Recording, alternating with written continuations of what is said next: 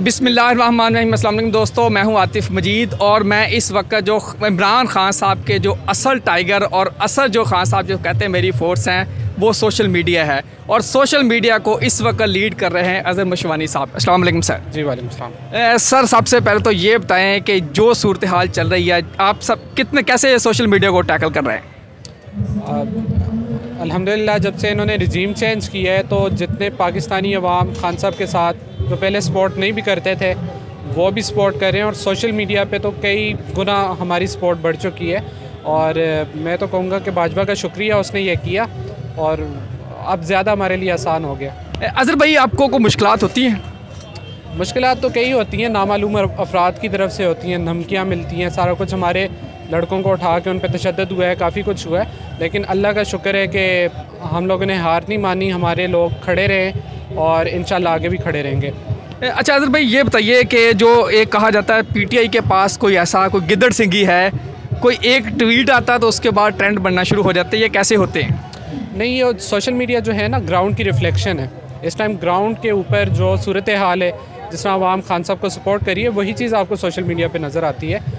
Boards वगैरह से ये चीज़ नहीं हो सकती। असल चीज़ है, आवाम के अंदर आप कहीं भी निकल के इस टाइम पूछें हर दूसरा बंदा खान साहब के साथ है। हर दूसरा भी मैं मतलब दस लोगों में से सात, आठ लोग इस टाइम खान साहब के साथ हैं। और हर जगह पे, सिर्फ़ शहरों में नहीं, अब तो देहातों में, पिंडों में हर जगह पे खान साहब के साथ खड़े और वही चीज़ सोशल मीडिया पे रिफ्लेक्ट होती है। अच्छा अजहर भाई, आपका जो खान साहब का मैसेज होता है, क्या बैकग्राउंड पे कैसे प्लानिंग होती है?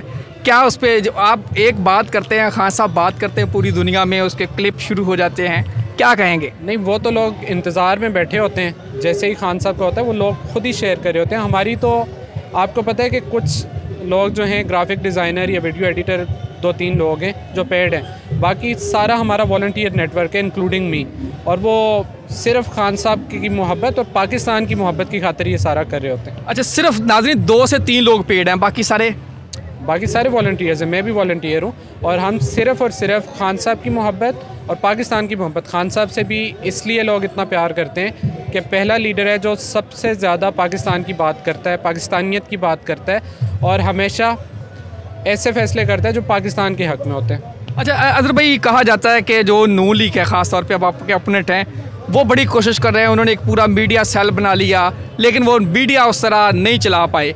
पीटीआई के पास कौन सा? इमरान खान तो है एक यानी कि वो वह लीडर है। ट्वीट आता है तो सारी दुनिया ट्रेंड बन जाता है। इसके साथ साथ उस मैसेज को कन्वे करने के लिए आप थोड़ी सी कोई टिप्स बताएँ। नून लीग को भी नसीहत करें क्या करना चाहिए? ये पिछले दिनों आ, का मैंने एक देखा गुल बुखारी एक हैं। नून लीग की काफ़ी एक्टिव मेंबर हैं। तो उन्होंने एक स्पेस सेशन किया हुआ था उसमें बड़ा लताड़ रहे थे लोग के पीएमएलएन की सोशल मीडिया टीम बड़ी निकम्मी है नखट्टू है। तो उसमें मैंने जाके ये कहा था कि यार, वो बेचारे क्या करें? उनको लीडर ही इस तरह का मिला हुआ है आइडियोलॉजी इस तरह की है कि किसी ने क्यों आना है उनके पास? हमारे पास, हमारी स्ट्रेंथ ही इमरान खान है, इमरान खान की आइडियोलॉजी है।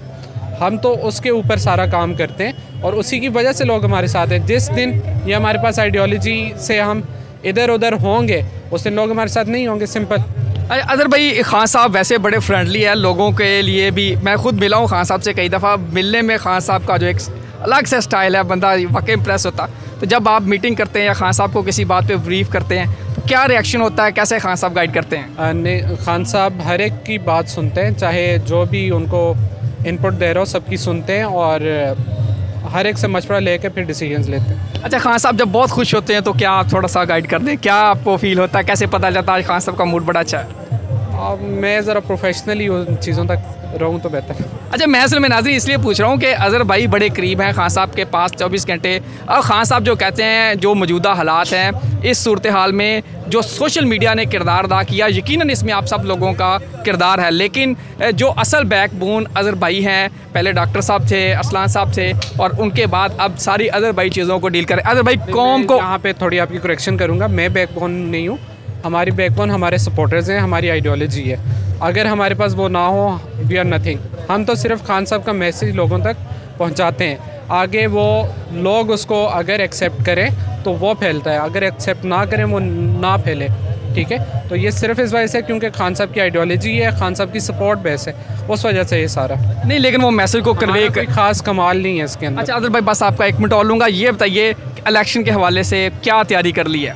अल्हम्दुलिल्लाह, हमारे पार्लिमानी बोर्ड की मीटिंग्स चल रही हैं। अभी खान साहब के पास जो भी पैनल्स, कौमी असम्बली और सूबाई असम्बली के उसके ऊपर खान साहब को ब्रीफ किया जा रहा है कि क्या हमारे मुमकिन पैनल हो सकते हैं। खैबर पख्तूनख्वा के सारे हमारे रीजन हो गए नॉर्थ पंजाब, वेस्ट पंजाब सारे रीजन हो चुके हैं जो साउथ पंजाब है, उसमें हमारे पास डेरा गाजी खान और मुल्तान डिवीज़न हमारा कंप्लीट हो गया बावलपुर रह गया सिर्फ़, और सेंट्रल पंजाब भी तकरीबन लाहौर के अलावा सारा कंप्लीट हो गया। और ये खान साहब ने इनपुट ली है सारी बॉडीज़ से इनपुट ली है और आखिरी जो डिसीजंस हैं वो खान साहब फर्दर इसको स्क्रूटनाइज करके सेकंड राउंड में इंशाल्लाह करेंगे। और हमारी तो बिल्कुल तैयारी है जिस दिन इन्होंने नोटिफिकेशन करना है कि किस दिन इलेक्शन है हमारे तो इनशाला टिकट्स भी अनाउंस हो जाएँगे। सो, सोशल मीडिया और मीडिया तो ऑलरेडी आपका एक्टिव है। ये आख एंड पे आप आवाम को मैसेज दे दें कोई आपको आवाम आपकी बड़ी फ़ैन है। यकीन करें, लोगों का जो फीडबैक आता है सोशल मीडिया का, वो सोचते हैं शायद कौन लोग हैं जो पी का जो सोशल मीडिया चला रहे हैं, नाजरीन, ये लोग हैं, ये चला रहे हैं। एंड पे आवाम को क्या मैसेज देंगे? आवाम को यही मैसेज है कि इन ये जो इम्पोर्टेंट हुकूमत है, इसके आखिरी दिन है और इलेक्शन के लिए तैयार हो जाएँ। और इस बार चाहे रमज़ान हो और लग रहा है कि रमज़ान में इलेक्शन आ रहे हैं और लग रहा है कि दस अप्रैल को आ रहे हैं। दस अप्रैल वही दिन है जिस दिन इमरान खान साहब की इन्होंने हुकूमत नाजायज़ तरीके से ख़त्म की थी, एक साजिश के तहत ख़त्म की थी। आपने उस दिन निकलना है और पाकिस्तानी कौम ने उस दिन दिखाना है कि हम एक खुददार कौम है और हम इस साजिश के ख़िलाफ़ किस तरह निकले और इमरान खान को वापस लाया इन थैंक यू भाई। नाजिन, आपने देखा अजहर मशवानी साहब, ये साथ से, ये पी टी आई की आपने आज बैक एंड पे तो देखा होगा, लेकिन फ्रंट साइड पे देख लिया जो लोग देख रहे हैं। अदर भाई थैंक यू इस वक्त मैं जमान पार्क के बाहर मौजूद हूँ और कुछ फीमेल भी मेरे साथ है। असल जी। जी वालेकुम अस्सलाम। जी कहाँ से आई हैं आप? मैं भावल नगर से आई हूँ। भावल नगर से आई हैं जमान पार्क? जी बिल्कुल। क्यों आई हैं? जी हम सर पे कफन बाँध के आए हुए हैं और खान साहब के शाना बशाना यहाँ पे जो जेल भरो मुहम में हम शाना बशाना खड़े हुए हैं और खान साहब को दुनिया की कोई ताकत नहीं है कि जो खान साहब को पकड़ ले आके। आप अभी गिरफ्तारी देना है भावनगर से? जी बिल्कुल। हम हाजिर हैं। हम अपनी जान माल अपना तन मन धन सारा कुर्बान करके खान साहब के लिए यहाँ पे हाजिर हैं। अच्छा ये जेल भरो तहरीक का मकसद क्या है? जी देखिए ये जो एक तहरीक है ये हमारे वन बाय वन करके जो हमारे लीडर हैं उनको जेल में डाल रहे हैं। तो हमने ये तहरीक चलाई है कि एक ही दम क्यों नहीं डालते? इनकी जेलों में जो जगह है वो कम पड़ जाएगी इन हमारे इतने लीडर हैं हमारी इतने खान साहब के दीवाने आशिक यहाँ पर भरे हुए हैं। ये जमान पार्क देख लें। सारी दुनिया के लिए ये एक मिसाल है कि ये खान साहब के लिए यहाँ पे इकट्ठे हुए हुए हैं। बिल्कुल ठीक है जी। अलैक्म जी। वालेकुम अस्सलाम। आपका आने का मकसद क्या है? मैं डेरा गाजी खान से आई हूँ। मैं पीटीआई की वुमेन जनरल सेक्रेटरी हूँ। और यहाँ पे खान साहब ने जो जेल भरो तहरीक का आगाज़ किया है हम उस सिलसिले में आए हैं उनकी कॉल पर। और खान साहब की यहाँ पे हिफाजत भी करेंगे। और उनके आगे हम लोग बिल्कुल पहरेदार बन के बैठे हुए हैं। Thank you ji thank you so much आप चाहिए जी। अस्सलाम वालेकुम। आप कहाँ से आई मैं जी भावलपुर डिस्ट्रिक्ट प्रेसिडेंट राबिया मलिक मेरा नाम है। खान साहब का हुक्म आया है कि आप जेलें भर दें। हम जेलों के पास ज़रूर जाएँगे। पकड़े ना पकड़े, खान का हुक्म ज़रूर मानेंगे। क्योंकि हम जाले हैं खान।